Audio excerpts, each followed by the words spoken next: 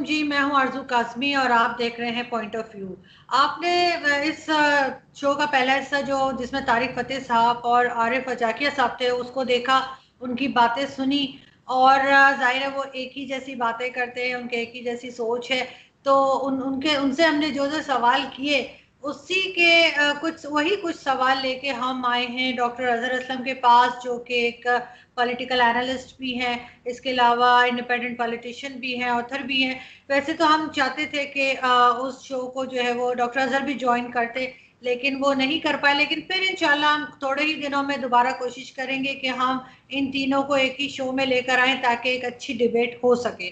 लेकिन यहाँ पे मैं डॉक्टर अजहर से वही सवाल थोड़े बहुत जो है वो करके पूछना चाहूँगी कि उनका क्या ख्याल है? क्या वो भी इसी तरह सोचते हैं जैसे तारिक फतेह साहब ने कहा या उनसे कुछ डिफरेंट सोच रहे हैं? सलामकुम सर बहुत शुक्रिया कि आपने ज्वाइन किया। जी जी। आजू थैंक यू वेरी मच आपने मुझे मौका फराम किया। आई एम सॉरी कि मैं पहले ज्वाइन नहीं कर सका आपको लेट हो गया ज्वाइन करने में। लेकिन मेरा आपसे वादा है कि मैं तारिक फतेह साहब के साथ शो ज़रूर करूँगा इंशाल्लाह। थैंक यू सो मच अच्छा मुझे ये बताइए मेरी उनसे कुछ थोड़े बहुत जो क्वेश्चन मैंने किए वही मैं आपसे करना चाहूँगी और मैं देखती हूँ कि आप लोगों के ख्याल कहाँ तक मिलते हैं। मैंने उनसे पूछा था कि फॉर एग्ज़ाम्पल मैंने उनसे बात की कि मिस्टर जिना जो थे उनको जहाँ तक मैंने देखा है या पढ़ा है तो वो काफ़ी मॉडर्न आदमी थे।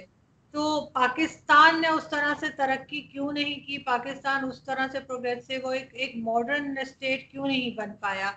तो उनका ये एक मानना था कि ऐसा कुछ नहीं था। कायदे अजम ना तो मॉडर्न आदमी थे, ना कुछ थे और उन्होंने जो है वो कुछ पैसों के लिए या उसके लिए जो है वो अंग्रेज़ के साथ मिलके वो जैसे वो बात करते पार्टीशन होगी। जिस पे मैंने उनसे कहा कि, ठीक है, आपका अपना एक ओपिनियन होगा, लेकिन मैं एग्री नहीं हूँ। तो उन्होंने बड़े खुश दिली से मुझे कहा कि, बिल्कुल ठीक है, अगर आपको नहीं मेरा पसंद, वो आपका अपनी चॉइस है। आप क्या समझते हैं कि क्यों पाकिस्तान प्रोग्रेसिव नहीं बन सका? क्यों हम एक ऐसी स्टेट में रह रहे हैं जिसे हमें जहालत कह सकते हैं। अच्छा इसमें थैंक यू सवाल आपने इतना लंबा किया और इतना गंभीर किस्म का सवाल है। इसमें बहुत से अवामिल हैं एक आपने कायदे आज़म का ज़िक्र किया कि कायदे आज़म कौन थे, क्या थे, कैसे थे। दूसरा आपने कहा मॉडर्न थे। अब मॉडर्न से क्या मुराद है? इसको हम देखेंगे। तो आई एम सॉरी मैं जरा ये चीज़ें आपके एक एक करके जवाब देता हूँ कि कायदे आज़म। तीसरा आपने कहा कि पाकिस्तान मॉडर्न या प्रोग्रेसिव क्यों नहीं बन सका? प्रोग्रेसिव से क्या मुराद है? ठीक है? इसको भी हम जांचेंगे। और आ, आ, और और ये कि कायदे आज़म का विजन क्या था या उनका तस्वर पाकिस्तान क्या था या कायद अजम के साथ हम लामा इकबाल को मिला लेते क्योंकि वो दो लोग बानियान पाकिस्तान में सबसे ज़्यादा अहम लोग समझे जाते हैं। वैसे तो बाकी बानियान पाकिस्तान ने भी इस मामले पे लिखा लिखाया है और उन्होंने सोचा और बात की है। लेकिन अगर हम इन्हीं लोगों को ले लें तो उससे क्या मुराद है? और और वो, अब ये बहस कि वो क्यों नहीं हो सका, वो एक मेरा ख्याल है कि एक नेक्स्ट स्टेप होगा। तो पहले हम बात कर लेते हैं कायदे आज़म की कि कायदे आज़म कौन थे? तो मोहम्मद अली जिना है जो उनसे वो आ, उनके बारे में आ, जो आ, दो तस्वुरात पाए जाते हैं और मोहम्मद अली जिना को आप हिस्ट्री की जितनी बुक्स पढ़ते हैं उनके बारे में उनकी बायोग्राफी जितनी पढ़ते हैं उसमें अक्सर ये लिखा पाया जाता है कि जी लोगों को समझ नहीं आता कि मोहम्मद अली जिनाया जौनसा जी, वो तो बड़े वेस्टर्न बन चुके थे। वो अचानक एंड्रोन से उनको इस्लाम का क्या दौरा पड़ गया, उनके दिमाग पे छा गया और ये सब कुछ। अच्छा ये बेसिकली बुनियादी तौर पे मैंने खुद कायदे आज़म की लाइफ पे लिखा है और अगर आप चाहते हैं तो मैं आर्टिकल्स आपको प्रूफ के साथ भेजूँगा। और मैंने इस हद तक रिसर्च की है इसमें, आरज़ू। कि लंदन का वो नक्शा अठारह छियानवे का, सतानवे का, कायद आज़म ने जहाँ रिहाइश इख्तियार की, उनकी ज़िंदगी के छोटे छोटे वाकयात, और उनमें से चंद का मैं ज़िक्र करूँगा, जिनसे एक बात आपको मैं ये साबित करूँगा कि कायदे आज़म ने जो उनसे वो उनकी जो तरबियत थी, वो इस्लामी थी, वो मुसलमान थे उनके मुसलमान होने का जो एलिमेंट है, जो उनसा वो हमेशा से उनकी लाइफ पे डोमिनेट रहा। और ये ठीक है कि उनके सियासी तस्वुरात हैं जो उनसे वो जैसा कि हर इंसान के होते हैं दुनिया में। ओवर निस्फ, तकरीबन निस्फ सेंचुरी के ऊपर उनकी सियासत है, पचास साल। तो पचास साल में किसी के तस्वुर अगर ना बदले तो वो ऐसा ही है कि जैसे वो बिल्कुल जामद, कोई भी डायनामिक पर्सनालिटी ऐसी नहीं होती जो ना बदले। जैसे कि जो आप खुद कायद आज़म ने एक दफ़ा दिया था जब उनसे पूछा गया कि आप एक दफ़ा कांग्रेस में थे तो उन्होंने कहा हाँ मैं एक दफ़ा स्कूल में भी पढ़ता था। ठीक है? तो कायद आज़म मोहम्मद अली जिनाए जो उनसे उन्होंने तालीम हासिल की अंजुमन मदरसा इस्लाम सिंध से। अब आप मैं आपसे सिर्फ़ छोटे छोटे से तस्वुरात पे बात करूँगा। मदरसा इस्लाम सिंध है जो सा जिसमें एक बच्चा पढ़ रहा होगा और वो रोज सुबह को एक असम्बली होती थी जिसमें मदरसा इस्लाम सिंध में हम दुन्नात पढ़ी जाती थी और उनके जो निसाब है उसके अंदर इस्लामी कंटेंट मौजूद था। ठीक है? वो उस माहौल में जो बच्चा पढ़ा उसको बारे में ये कहना कि उसको इस्लाम का पता ही नहीं था। मतलब ये तो एक बड़ी मतलब बचगाना बात है ना। क्योंकि एक बच्चा अगर, चाहे वो उस पर अमल कर रहा है, पाँच वक्त का नमाजी है, नहीं है, एक डिफरेंट बात है। वो एक मुसलमान होने की जो डेफिनेशन है ना, उसके बारे में एक अंग्रेज़ ऑथर ने लिखा था। आई एम सॉरी इस वक्त अगर मुझे पहले पता होता ना, ये सवाल आपने कर रहे मैं अपने रेफरेंसेस निकाल के रखता। उसने लिखा था कि कायद आज़म के इस्लाम के बारे में जो लोग बात करते हैं ना, वो कायद आज़म के इस्लाम के बारे में कम बात कर रहे होते हैं, वो अपने इस्लाम के बारे में ज़्यादा बात कर रहे होते हैं कि उनके इस्लाम के बारे में तस्वुर क्या है? यानी अगर आपका इस्लाम को तस्वुर है कि दाढ़ी के साथ इस्लाम होता है, या पाँच वक्त की नमाज़ पढ़ने से इस्लाम होता है, और जो सा वो शलवार कमीज में इस्लाम होता है, और जो पेंट टाई पहनता है, उसका इस्लाम नहीं होता तो फिर तो आप मतलब आपका तस्वुर इस्लाम एक इंतहाई जाहिलाना तस्वुर इस्लाम है, ठीक है? अच्छा मैं आपको एक वाक्य अंजुमन अच्छा आपको एक और कायदे आज़म जिस घर में रहे, ये एक असली वाक्य है हिस्टोरिकल उस घर में एक जिस खातून के यहाँ वो रहे, जो पेइंग गेस्ट के तौर पे स्टूडेंट के तौर पे रहे, जब वो लिंकन में पढ़ रहे थे तो उनको उस खातून ने एक वहाँ लड़की रहती थी, अंग्रेज़, उससे इंट्रोड्यूस करवाने की कोशिश की। तो कायदे आज़म ने उस खातून को कहा कि, भाई, ये हमारी रवायात के खिलाफ है। ये 19-20 साल का लड़का कह रहा है। लेकिन मेरी मेरी सुन से सुनिए आप प्लीज़ मैं आपको छोटे छोटे वाक्यात बता रहा हूँ। तीसरी बात तीसरी बात, जब वो वापस आए तो आपको पता है कौन सी सबसे पहले उन्होंने ऑर्गेनाइजेशन ज्वाइन की? अंजुमन हमायत इस्लाम बॉम्बे में। ठीक है? या ये ये उनकी पहली अंजुमन थी, जो उनकी पॉलिटिकल एक्टिविटी यहाँ से शुरू हुई, कायदे आज़म की। कायदे आज़म ने रत्ती जना से शादी की। उनको मुसलमान क्यों किया?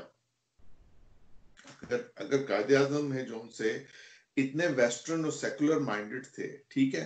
वो शिया बैकग्राउंड से आए थे, जिनको तस्वुर किया जाता है कि शिया बैकग्राउंड और जो सा थोड़ा सा सुनियों की तरह ज़्यादा रासुल रासुल अकीदा जो बनाते लोग, वो नहीं होता। अगर मान भी लिया जाए तो उन्होंने रत्ती जना को मुसलमान क्यों बनाया? आप मुझे बताइए। दो बातें कायद आज़म के बारे में बहुत से लोग कहते हैं ड्रिंकिंग ठीक है, और उनके पोर्क खाना। ये जो पोर्क खाने वाला वाक्य है, ये सिर्फ़ एक बंदे ने कोट किया है, मोहन चागला ने। मोहन चागला वो आदमी था जिसको कायदे आज़म ने, का जूनियर था, उन्होंने अपने अपने बैरिस्टर जो उनकी अपनी प्रैक्टिस थी, उससे उसको किक आउट किया था। और मोहन चागला का ने ये कभी खुद डायरेक्ट कोट नहीं किया। मोहन चागला के बेट मोहन चागला वो मुसलमान थे जिन्होंने कांग्रेस ज्वाइन की थी और बाद में कायद आज़म के सख्त खिलाफ रहे। उनके बेटे इकबाल चागला ने एक वाक्य कोट किया। सिर्फ़ एक वाक्य है वो। और वो भी सुनिए। नहीं नहीं नहीं आप सुन दीजिए प्लीज़ अब आप काटिए मत मुझे क्योंकि आप मुझे कहती है कि बात काटता हूँ मैं। आप बात सुनती दीजिए प्लीज़। मुझे पूरा जवाब देने दीजिए। पहले कायद आज़म की पर्सनैलिटी पे बात करते हैं। तो ये एक वाक्य सिर्फ़ जो इकबाल चागला ने अपने बाप को कोट किया बहुत बाद में। और वो वाक्य ये है कि जी जब कायद आज़म मुंबई मजिस्ट्रेसी में अपने नुमाइंदा बनने के लिए लोकल काउंसिल के लिए कर रहे थे कंपेन तो वो रेस्टोरेंट में रुके तो उनको वहाँ पे जो सा वो पोक सैंडविच ऑफ़र किए गए। ठीक है?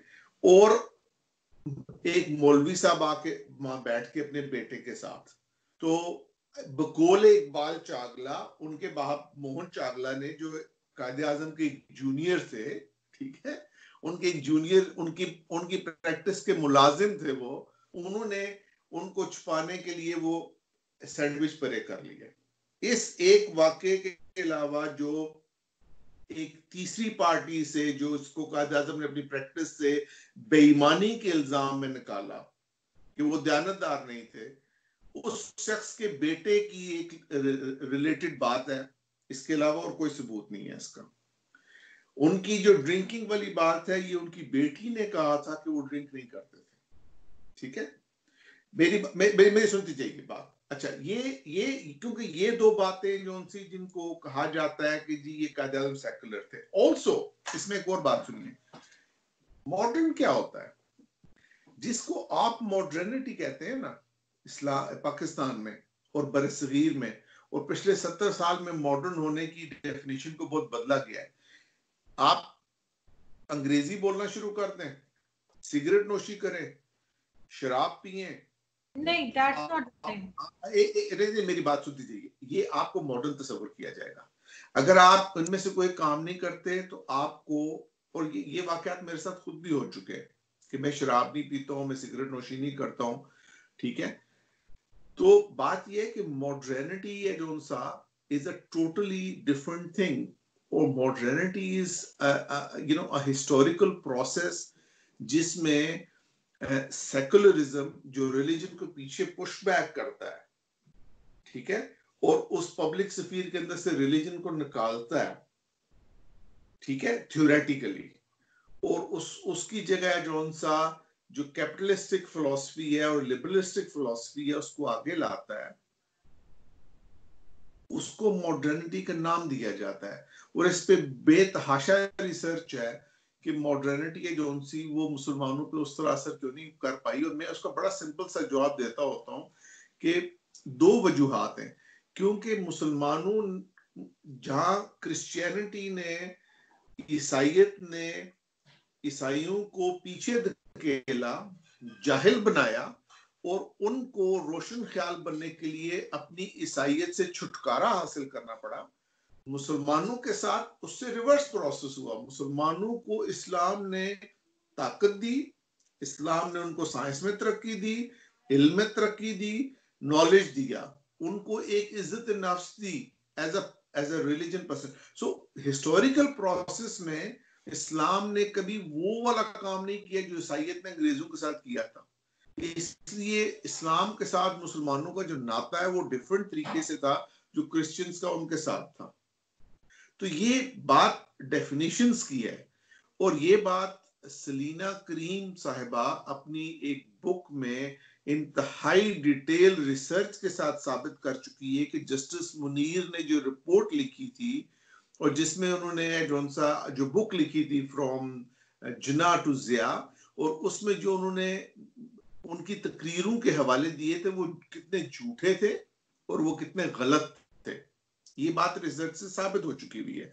अच्छा अब आपको मैं वाक्य तो स्टैनले पोर्ट की जो वॉलपोर्ट की जो किताब कैद आज़म की बायोग्राफी सबसे यानी मुकदम बायोग्राफी तस्वुर की जाती है, उस, उसमें उन्होंने जो अपनी बायोग्राफी बनाते हुए मुख्तलिफ़ नोट्स इकट्ठे किए थे, वो नोट्स आज से कोई दस बारह साल पहले छपे हैं। अब मुझे नाम अगेन याद नहीं आ रहा कि वो छपे, मेरे पास है वो बुक मौजूद।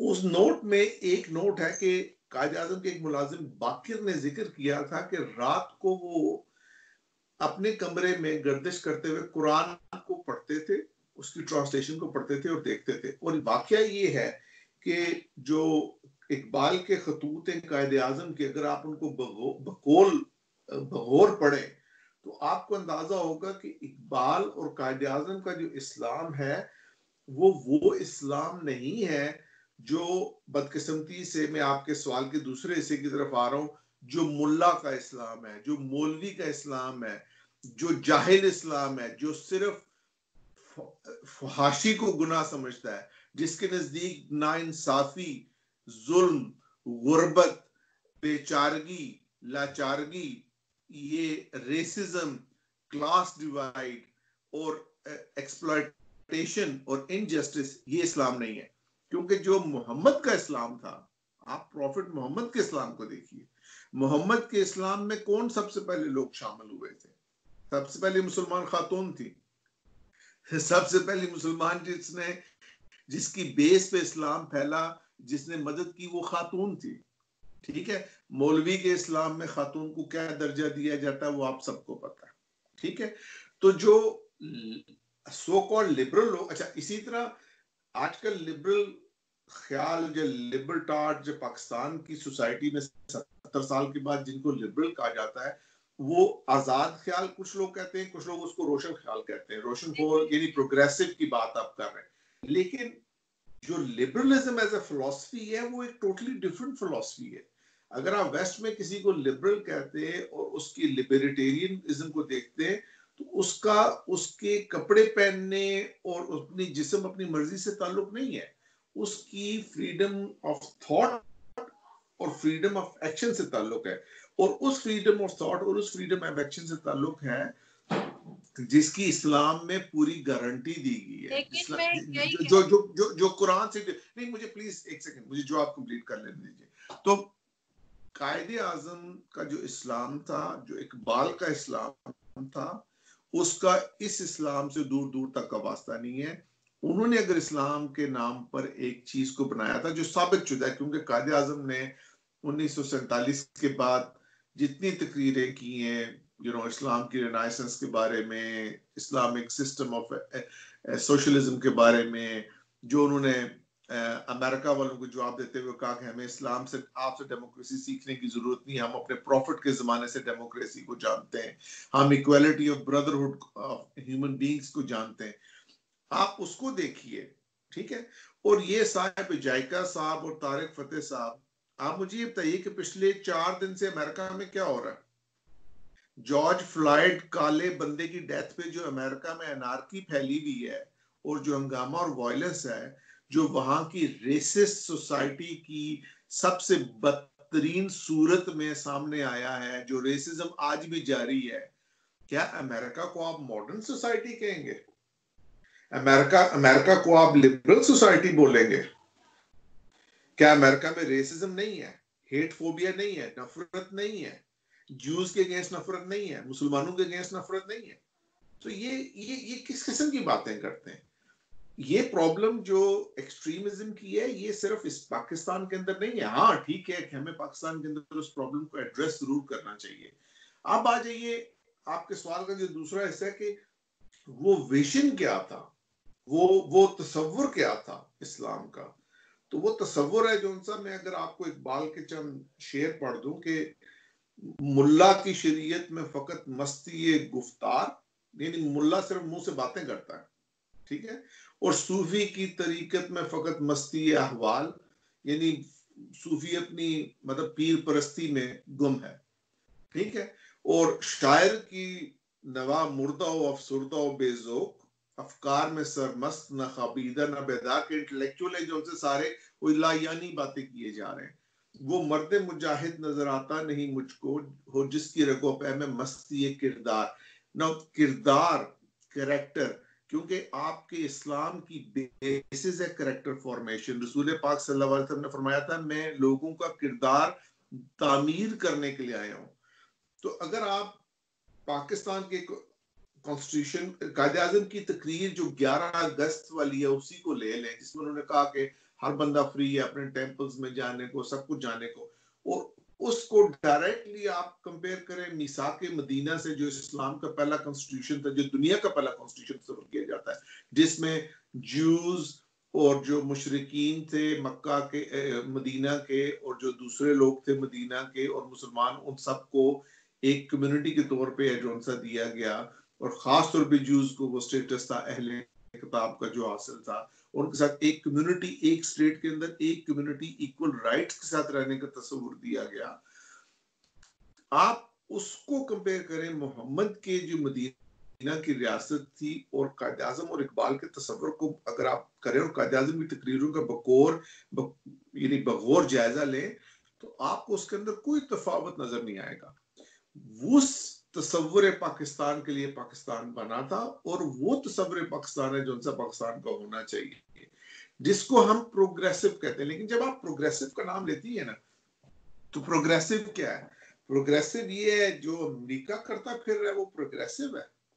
यानी दुनिया भर के अंदर आप एक कैपिटलिस्ट निज़ाम बना दें आप नहीं देखें प्रोग्रेसिव से मतलब होता है कि हम एजुकेशन में आगे नहीं बढ़ पाए। हमारे यहाँ एक तरह की जहालत है जिससे हम इनकार नहीं कर सकते एक तरह की मुलायकत है जिससे हम इनकार बिल्कुल बिल्कुल तो है। हम हमारे ऊपर ये इम्प्रेशन आ रहा था कि हम एक बड़ा कोई मॉडर्न मॉडर्न उस सूरत में एजुकेशन के लिहाज से। मॉडर्न बनाने जा रहे हैं हम एक बेहतर कंट्री बनाने जा रहे हैं जहाँ पे इल्म होगा जहाँ पे एक दूसरे की बात को टॉलरेट किया जाएगा। ऐसा हुआ। और हमने माइनॉरिटी का जैसे आपने बताया भी कायदा ने क्या कहा था माइनॉरिटी के लिए लेकिन हम ऐसा कुछ फॉलो नहीं कर पाए। हमने माइनॉरिटी को भगा दिया हमने उन्हें तंग किया। तो बिल्कुल सही है देखिए अब उस चीज़ को हम डिस्कस कर रहे थे तारिक फतेह साहब मैं मैं मैं मैं आता हूँ उस पर एक सेकंड ठीक है आपने सही सवाल किया। पहले तो बात है कि मैंने आपके कायदे आज़म के बारे में तस्वुरात को थोड़ी हद तक शायद क्लियर किया होगा। लोगों को इस किस्म की रिसर्च और ज़िंदगी के उनके मामला का पता नहीं है। लोग पढ़ते पढ़ाते हैं, कोई नहीं। और अनफॉर्चुनेटली ये भी हमारी जहालत की निशानी है कि ना हम कोई रिसर्च करते हैं, ना तहकीक करते हैं, ना इल्म हासिल करते हैं और ना सच की तरफ़ जाने की कोशिश करते हैं। दूसरी बात रहेगी कि पाकिस्तान का जो पैदाइश है उसके अंदर जो बदकिस्मती के अवामिल थे, मुल्क का जोग्राफिकली दो मुख्तलिफ़ हिस्सों में होना, फिर मुल्क की जो एक्चुअल स्टेट्स जो पाकिस्तान को मिलनी थी, पूरा पंजाब, पूरा बंगाल, और पूरा बंगाल मिलने के साथ बिहार और खुद ब खुद जोग्राफियाई तौर पे जो ईस्ट इंडिया जो बर्मा के साथ लगता था ईस्ट इंडिया का हिस्सा, जो जिन लोगों ने आज तक बगावत रखी हुई है वहाँ पे आसाम में यू नो मणिपुर मणिपुर में और वो जो वो जो इलाके बांग्लादेश और बर्मा के दरमियान में सारे जहाँ आज तक बगावत है। अभी तक वहाँ पे नेक्सलाइट्स की बगावत चल रही है। सत्तर साल से वहाँ पे। वो खुद ब खुद इंडिया से अलहदा हो जाते हैं। पाकिस्तान साइज़ में एक बड़ा मुल्क बनता। पाकिस्तान को जो प्रिंसली स्टेट्स मिलनी थी और अगर हैदराबाद ने जैसा कि कानूनी तौर पर फैसला था कि जो हैदराबाद जो फैसला करेगा राजा, महाराजा वो तस्लीम किया जाएगा। तो कश्मीर पे तो कब्जा करते वक्त इंडिया को महाराजा कश्मीर की असेंशन का डॉक्यूमेंट याद रह गया, लेकिन निज़ाम ऑफ़ हैदराबाद, जो सबसे अमीर इंसान थे उस वक्त, दुनिया के अमीर तरीन इंसानों में थे, और जिन्होंने पाकिस्तान को बेतहाशा सोना भी दिया था, और उस सोने के चोरी होने की एक अलहदा दास्तान है कि पाकिस्तान को क्यों नहीं मिला, और उसमें कितने अपने ही पाकिस्तानी कैसे शामिल थे। वो उस उस पर कब्जा करके भारत ने अपने आप को जोग्राफियाई तौर पे अपनी इस खुशकिस्मती से फ़ायदा उठाया कि जवाहरलाल नेहरू ज़िंदा रह गए और मोहम्मद अली जुना कायद आज़म और लियाकत अली खान है जो उनसे with in three four years मर गए। ये जो ट्रेजिडी ट्रेजिडीज हुई, इससे हमारी जो इनतात है, उसकी इब्तदा होती है। उसकी इब्तदा के अंदर फिर ज़ाहिर है कदावर पर्सनालिटीज का ना होना और बेतहाशा मुख्तलिफ़ वेरिएबल्स हैं जिनको हम नो डाउट हम इनकार नहीं कर सकते क्योंकि सच हमें तस्लीम करना चाहिए कि हमने कितने गलत काम किए हमने कैसे अपने आप की पिछली निशस्त में मैंने बंगाली भाइयों का अपना ज़िक्र किया था कि मेरे लिए वो मशद की पाकिस्तानी है। यू you नो know, मैं तो चकोरी फ़िल्म मुझे सिर्फ़ इसलिए पसंद है कि उस वो मशरकी पाकिस्तान में बनी थी और वो मेरे लिए 1969 की एक यू नो एक एक एक ऐसा तारीखी लम्हे के तौर पे मैं उसको याद करता हूँ। तो जो वो, जो जो जो वो उन्होंने ट्रेजिडीज की, जो हमने गलत काम किए और उसके बाद अस्सी में जब हम फंस गए रूस और अमेरिका के दरमियान और जैसे हमने चीज़ों को रखा, उसमें कुछ मजबूरी के एलिमेंट भी थे, ज़ाहिर है। मतलब आप एक जगह जोग्राफिकली फंसे हुए हैं तो आपने एक रिस्पॉन्स देनी है, आपकी स्टेट अभी भी टूटी है सेवेंटी वन में, आप बाकी स्टेट को बचाना चाहते हैं तो लोग एक्सट्रीम मेजर्स भी लेते हैं।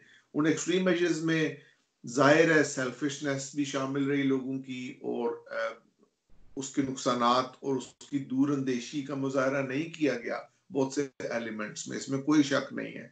एस्टेब्लिशमेंट की तरफ़ से नहीं हुआ हमारे सियासतदानों की तरफ़ से नहीं हुआ मुख्तर हलकों की तरफ़ से नहीं हुआ। और आज तक हम अपने आप को एक कौम के तौर पे मुतफिका तौर पे उस तरह नहीं बना सके। उसकी वजह बड़ी सिंपल सी है, और वो यही है जो आपका सवाल है कि तस्वर पाकिस्तान क्या है? तस्वर पाकिस्तान के अंदर ना तो मौलाना ताहिर अशरफी है, ना मुफ्ती मुनीब है। प्लीज़ मुझे नाम लेने दीजिए। ना मौलाना फजल रहमान है ठीक है? इनमें से कोई बंदा भी है जो सा वो तस्वुर पाकिस्तान में नहीं शामिल होता। क्योंकि इनका जो इस्लाम है, उसका मेरे नज़दीक प्रॉफिट मोहम्मद मौलाना तारिक जमील को भी मैं सॉरी इंक्लूड करूँगा। मौलाना, इनका इस्लाम, हमारे रसूल करीम के इस्लाम, मेरे नज़दीक जब मैं दोनों को देखता हूँ तो इनमें ज़मीन आसमान का फ़र्क है। जो इस्लाम आखिरी हदायत के तौर पर अल्लाह ताला ने इंसानों के लिए भेजा था जिसको हम पॉलिटिकल जिसकी पॉलिटिकल आइडियोलॉजी की बेस पे पाकिस्तान बना था, उसका तो उस इस्लाम से बिल्कुल ताल्लुक नहीं है जो ये खादम हुसैन रिजवी का इस्लाम है, या जो सुन्नी शिया के बाजी का इस्लाम है, या देवबंदी बरेलवी के झगड़े का इस्लाम है, और उसकी वजह से जो सऊदी और ईरानी पैसा लगा पाकिस्तान में, और हमने खुद भी अपने ऊपर तवज्जो नहीं दी, क्योंकि हम सरे महल बना रहे थे और हमें जो सा पार्क लेन में अपार्टमेंट्स ले रहे थे और हमारे जो एस्टेब्लिशमेंट के रिटायर्ड लोग हैं वो अमेरिका जाके जॉब्स ले रहे थे या वहाँ पे आप दोजे बेच के आप दोजों के अंदर कमीशन खा के जो सा अमेरिका जाके छुप के रह रहे थे। तो मसला ये है कि उसमें जज भी, हमारे जुडिशरी भी, हमारी अमीर तबका भी, हमारे सनतकार भी, हमारे जो पॉलिटिशियन है, वो भी हर जो बंदा है, जो सा जो अलीट तबके का एक हिस्सा बन गया, जो पाकिस्तान को खा खा रहा है और खा रहा था, उसने कभी भी परवाह नहीं की कि मॉरली आप पाकिस्तान के जो लोग हैं, उनके लिए क्या करना चाहिए, उनकी तालीम के लिए क्या करना चाहिए, उनकी सेहत के लिए क्या करना चाहिए। पाकिस्तानी कौम इतनी टैलेंटेड कौम है आपको खुद पता है अक्सर बोला जाता है कि पाकिस्तानी दुनिया में कहीं भी चले जाए वहाँ जाके अचानक क्यों इतना ऊपर चले जाते हैं और क्या क्या कारनामा अंजाम देते हैं? तो पाकिस्तान में जाके उनको क्या हो जाता है? उसकी वजह सिर्फ़ निज़ाम है। यू you नो know, हमारे ब्यूरोक्रेट्स हैं तो उनको अपनी नौकरियों अपने बच्चों अपने सर्विस की अपने प्लॉट्स की और उन चीज़ों की ये ठीक है कि इंसान की जातियात की एक फ़िक्र होती है इंसान को अपनी जाती फ़िक्र होती है लेकिन इंसान एक माशरती और जानवर के तौर पर जाना जाता है या जानदार के तौर पर जाना जाता है। आपका हर फैसला जो सा सिर्फ़ आप पे इन्फ्लुएंस नहीं करता, दूसरे इंसान पे भी इन्फ्लुएंस करता है। तो इतनी खुदगर्जी और लालचपन और अंधापन पाकिस्तान के माशरे के अंदर सरायत कर चुका है कि वो जो आपकी जो टॉक्सिक मिक्स है इग्नोरेंस का और मुलायत का और लैक ऑफ़ एजुकेशन का along with over population scarcity of resources वो एक एक ऐसा टॉक्सिक मिक्स बन जाता है कि जिसमें आप एक प्रोग्रेसिव या रोशन ख्याल या तरक्की पसंद not in the sense of communism और सोशलिज्म लेकिन तरक्की पसंद एक नई आइडियोलॉजी को डेवलप करना, एक अल्टरनेटिव देना, जो सोशलिज्म का अल्टरनेटिव हो, जो लिबरल कैपिटलिस्टिक फिलोसफी का अल्टरनेटिव हो जिसके लिए इस्लाम पाकिस्तान बना था कि एक ऐसा तस्वुर पेश करेगा जमहूरियत का जो मगरबी जमहूरियत की खराबियों से मुबर्रा होगा। एक ऐसा मुआशी तस्वुर दुनिया को देगा जो जो जो जो सूद बेस्ड निज़ाम है उसके तसलुत से और जो, जो उसके अंदर इस्तबदाद और एक्सप्लाइटेशन शामिल है उससे आज़ाद होगा। और दुनिया को ना सिर्फ़ अपने आप को बेहतर करेगा, बल्कि दुनिया को एक ऐसी स्टेट का नमूना देगा, जो सिर्फ़ इंसानों के लिए बनी है और इंसानियत की फलाह के लिए बनी है। और इंसानियत की फलाह पे ही तवज्जो दी जाती है। और ना सिर्फ़ उसमें ये, बल्कि उसके अंदर इतनी अकाउंटेबिलिटी और ट्रांसपेरेंसी है कि खुद ब खुद एहतसाब करती है अपने आप का।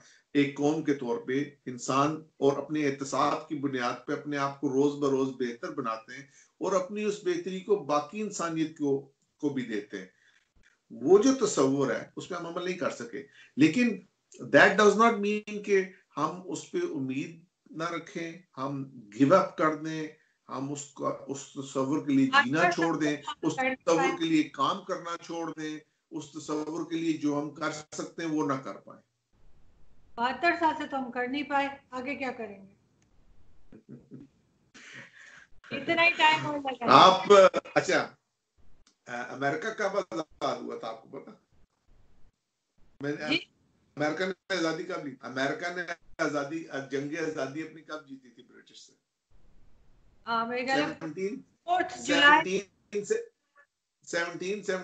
में। ठीक में। फोर्थ जो फोर्थ जुलाई। अमेरिका में जी जी। अमेरिका में जो सिविल वॉर हुई थी, जिसके बाद अमेरिकन यूनियन इब्राहिम लिंकन ने बदली, और वो सिविल वॉर गुलामी और ब्लैक और वाइट की डिवाइड पे यह हुई थी, जो तस्वराती तौर पे कहा जाता है, लेकिन इसमें रियलिटी में और भी बहुत से अवामिल शामिल थे कि नॉर्थ की स्टेट, साउथ की स्टेट से क्यों लड़ी थी, कॉन्फेडरेसी से क्यों लड़े थे यूनियन वाले। वो वो वो बहुत से अवामिल उसमें और भी शामिल थे, और वो इतनी सिंपल, सिर्फ़ इतनी नहीं थी कि वो कोई बहुत ज़्यादा यानी वो आइडियोलॉजिकल बैटल थी जिस तरह वो प्रेजेंट की जाती है वो हुई थी 1860 से चौसठ में। आपकी वीडियो एक सेकंड सुनती थी जो आप सुनिए ना। आपकी वीडियो कुछ खराब हो रही है एक मिनट आपकी वीडियो थोड़ी खराब हो रही है। इंटरनेट का कोई प्रॉब्लम है? इंटरनेट आपकी वीडियो थोड़ी पिक्सल खराब हो रही है।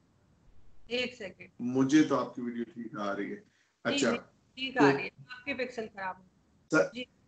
सत्रह सौ छिहत्तर से अठारह सौ साठ तक बनते चौरासी साल हम्म। ठीक है तो बीबी चौरासी साल तक तो अमेरिका एक एक तरह से एक नई नेशन के तौर पे अपने आप को बहाल नहीं कर सका था और एक तस्वुर पे नहीं ला सका था और आपस में इतनी बड़ी जंग मुल्क के दो हिस्सों के दरमियान इतनी बड़ी जंग हुई और वो जंग रिजोल्व हुई नबे साल सौ साल लगे अमेरिका को स्टेज पे पहुँचने में जबकि वो एक मुल्क और एक कौम के तौर पे और एक अमेरिकन आइडियल पे पहुँचा था। तो अगर हमें बहत्तर साल लगे तो इसमें इतनी मायूसी वाली कोई बात नहीं है। हम एक ऐसी मुसलमान कौम को तामीर करना चाह रहे हैं जि, जो, जिस जो सिर्फ़ मुसलमान ना हो जो मुसलमान होने से पहले इंसान हो। जो ये समझे कि जब कुरान पाक के अंदर रब्बुल आलमीन कहा जाता है तो वो रब तमाम आलमों का रब है। जब रसूल को रहमत आलमीन कहा जाता है तो रहमत सबसे बड़ी खसूसियत बन जाती है। और जब मालिक मदीन कहा जाता है तो अकाउंटेबिलिटी और ट्रांसपेरेंसी बेसिस बन जाती है आपके पॉलिटिकल सिस्टम की। तो जब जब आपका मुआशी माशरती और सियासी निज़ाम है जो सा वो अकाउंटेबिलिटी ट्रांसपेरेंसी और मर्सी रहमत कंपैशन इन किस्म की चीज़ों पे बेस नहीं होगा जिसको जिसको आप बनाना चाह रहे हैं जो ना सिर्फ़ आपके लिए होगा बल्कि पूरी दुनिया के लिए होगा। जब तक आप वो अल्टरनेटिव नहीं देंगे तो आप अपने मुल्क को भी ठीक नहीं कर सकेंगे। लेकिन आप मुझे बताइए ना कि हमारे मुल्क में कितने आ, आप वहाँ पाकिस्तान में हैं। आप मुझे बताइए कि कितने दानश्वर आपके जो से वो खुल के इस बात पे लिखते हैं कि ये जो निज़ाम है, ये गल सड़ चुका है। ये निज़ाम है जो सा, ये इतना गंदा है कि जिसमें एक ठेकेदार मलिक रियाज की बेटी है जो सी, वो जाके एक अपनी मुसल्ला जत्थे को लेके, यानी उस मुल्क के अंदर हर एक ने अपनी प्राइवेट आर्मीज बनाई हुई। जब स्टेट को आपने इतना कमज़ोर कर दिया है कि आपने प्राइवेट आर्मीज को खुली इजाज़त दी हुई है, और इस वजह से क्योंकि जो आपकी एलिट है वो सब उसी निज़ाम से खाती है और उसके अंदर पिस्ता सिर्फ़ गरीब आदमी है, मार सिर्फ़ गरीब आदमी खाता है।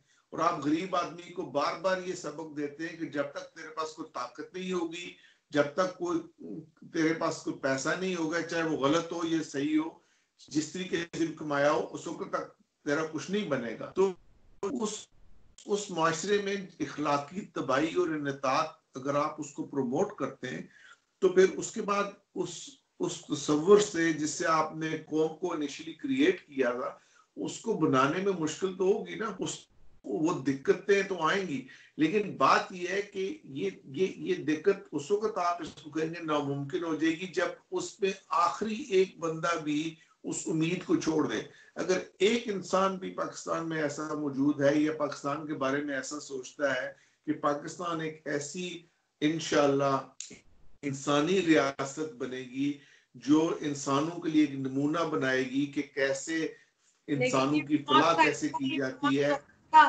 ये ये सोचने के लिए तो यहाँ कोई नहीं बैठा हुआ सबको अपनी पड़ी है सब करप्शन करके खा पी के गायब हो जाते हैं और फिर कोई दूसरे आ जाते हैं उनको भला तो- कहते रहते हैं यही चलता रहता है यहाँ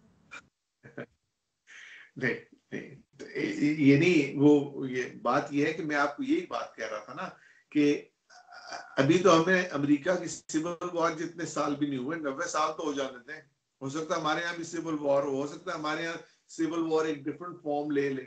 आपको पता है ऑर्सन वेल्स एक किरदार है जो जिसने एक अब मूवी का नाम मुझे याद नहीं आ रहा, लेकिन उसका बड़ा मशहूर फ़िक्र है। जो अपेरेंटली डायलॉग मूवी के अंदर था नहीं, उसने स्पॉन्टेनियसली बोल दिया था। और उसने कहा था कि, भाई इटली में तैतीस साल तक बोर्जियाज ने राज किया। अनारकी थी, केओस था, तबाही थी।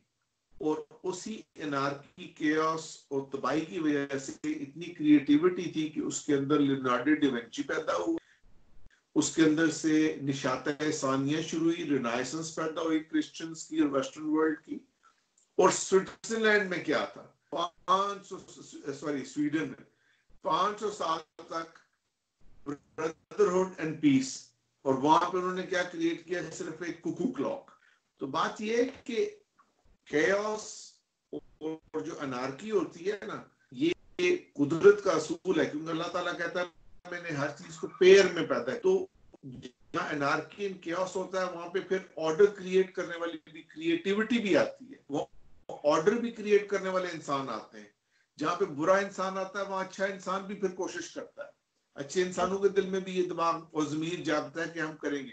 और ये कोशिश हो रही है, ज़रूर होगी, होती भी आई है। हमारे पास एविडेंस मौजूद है कि पाकिस्तान में लोग इस तरह के काम करते रहे मजहबी लिहाज से भी किया है, सियासी लिहाज से भी किया ये यकीनन बात दुरुस्त है कि उनको कभी भी इतनी सियासी ताकत नहीं मिली है कि वो इस निज़ाम को उस तरीके से बदल सकें, जिस तरीके से बदलना चाहिए।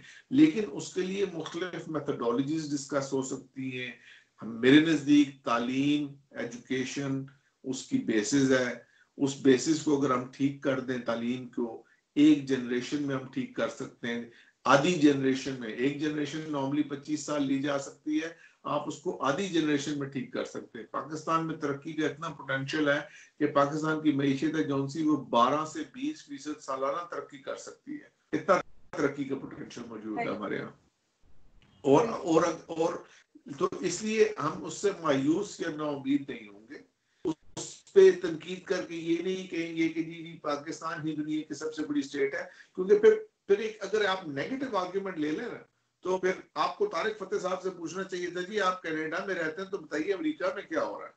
वो कितनी मोहब्बत हो रही है वहाँ पे। वहाँ का जो अमेरिकन प्रेसिडेंट है, जो साहब, वो ट्वीट करता है कि मेरे व्हाइट हाउस पे आए तो इन पे कुत्ते छोड़ दिए जाएँगे। ये प्रेसिडेंट ट्रंप की ट्वीट है, जिसको ट्विटर वालों ने हटा दिया कि यहाँ पे अगर प्रोटेस्टर आए तो इनको कुत्ते छोड़ दिए जाएँगे। When looting starts shooting starts, ठीक है? और तो, मतलब वहाँ पे अगर इतना नाइंसाफी और जुल्म है रेसिज्म इतना ज़्यादा है ओपनली जिसको आप कहते हैं कि जी बीकन है डेमोक्रेसी और ह्यूमन राइट्स का ठीक है? तो फिर आप मतलब झूठ तो मत बोले ना यार मुनाफकत तो मत करें। और दूसरी बात ये ये जो सेकुलरिज्म की बात है ना मगर ये मज़हब की इसके बारे में मैं एक फ़िक्र आपको सिर्फ़ बोल दो मज़हब को पीछे करना सेकुलरिज्म सोसाइटी में ठीक है, लेकिन अगर आप समझते हैं ना कि सेकुलरिज्म सोसाइटी जिसके अंदर मसलन मैं यूके में रहता हूँ तो यहाँ पे क्रिश्चियन वैल्यूज़ खत्म होगी और एकदम से इस्लामिक वैल्यूज़ आ गई है। इस्लाम और क्रिश्चियन क्रिश्चियनिटी को पैरिटी हासिल होगी है तो इस किस्म की कोई बात नहीं है। जो आपको रिलीजियस सेकुलरिज्म मिलता है, वहाँ पे आपको कल्चरल एडोन सा मिस अप्रोप्रिएशन कल्चरल आइसोलेशन और कल्चरल जुल्म और इस्तबदाद मिलता है कि आप हमारे अंदर जम हो जाए, हमारी वैल्यूज़ को अपना लें, अपनी वैल्यूज़ को ड्रॉप कर दे। भाई, ये कौन सा सेकुलरिज्म है? जिसमें सिर्फ़ इतनी इजाज़त है कि अपने अकीदे को घर में रखें, लेकिन अपने कल्चरल वैल्यू को ड्रॉप कर दे। तो अकीदा कल्चरल वैल्यू तहजीबी इस्तारा, ये इंसान का एक मजमू हिस्सा होता है, उसकी मजमूत का हिस्सा है। उसमें से सिर्फ़ आप मज़हब को निकाल के पीछे कर दें और कहें जी ठीक है मज़हब की तो तुम्हें इजाज़त है तुम अपना अपनाओ लेकिन अपना जो तहजीबी इस्तारा है कल्चरल मेटाफर है और जो अपनी अपनी रवायात है उन सबको भूल जाओ। तो ये, ये तो नहीं हो सकता। सही बिल्कुल। तो ये इस किस्म का इस किस्म की बातें मेरा ख्याल आपको जयका साहब और तारिक फतेह साहब से पूछनी चाहिए इनशाला कभी उनसे मुलाकात होगी तो फिर उनसे thank you so much doctor साहब। लेकिन मैं तो यही चाह रही थी कि आप आज उन्हें ज्वाइन कर लेते आई होप कि बल्कि हाँ, हम नेक्स्ट वीक में अगर आपके पास टाइम हुआ तो फिर हम ज्वाइन कर पाएँगे उनके साथ। क्योंकि ये चीज़ जो है क्योंकि वो उनका शो जो था वो काफ़ी मतलब ऑलरेडी लंबा था और उसमें डिफरेंट ज़ाहिर है। हर चीज़ मुझे इस वक्त नहीं याद कि मैं आपको बता पाऊँ। लेकिन उधर ही आप होते हैं और उधर ही एक होता है ना जैसे क्रॉस क्वेश्चनिंग और डिस्कशन हो रही होती तो एक बड़े मज़े की चीज़ बनती है। तो ज़ाहिर है होपफुली के नेक्स्ट वीक में आप टाइम देंगे तो मैं उनसे भी रिक्वेस्ट और फिर क्योंकि होना चाहिए दो दो तरह के जो है ना वो ओपिनियन आने चाहिए हमारे पास दोनों तरह के। क्योंकि एक चीज़ जिससे मैंने भी उन्हें कहा कि सर मैं एग्री नहीं हूँ। वो बात ये थी कि वो कह रहे थे कि अंग्रेज़ों के साथ मिलके और पैसों के लिए कायदे आज़म ने जो है वो पाकिस्तान बनाया। तो मैंने कहा वो तो इतने बड़े थे। मेरी बात सुने। खुद पैसों उनको पैसों की क्या कायद आज़म ना सिर्फ़ इंतहाई अमीर आदमी थे उन पे कम से कम उनका कोई मुखालिफ कभी कोई उंगली नहीं उठा सका। किरदार के वो इतने मतलब रास्त बाज थे। और आखिर में उस बंदे ने अपनी जायदाद के तीन हिस्से किए एक इस्लामिया कॉलेज पेशावर को छोड़ा एक मदरसा इस्लाम सिंध को छोड़ा ठीक है? उन्होंने अपनी बेटी को अपनी बहन के लिए कुछ नहीं छोड़ा अपनी औलाद को कुछ नहीं दिया। मतलब वो उन तो तारिक फतेह साहब और जयका साहब को मेरी तरफ़ से तो ये जवाब है कि कायद आज़म के बारे में बात करना ऐसा ही है उनका कि वो चाँद पे थूकेंगे मुँह ऊपर करके तो वो थूक उनके मुँह के ऊपर गिरेगा। बस इससे ज़्यादा मैं कुछ नहीं कह सकता।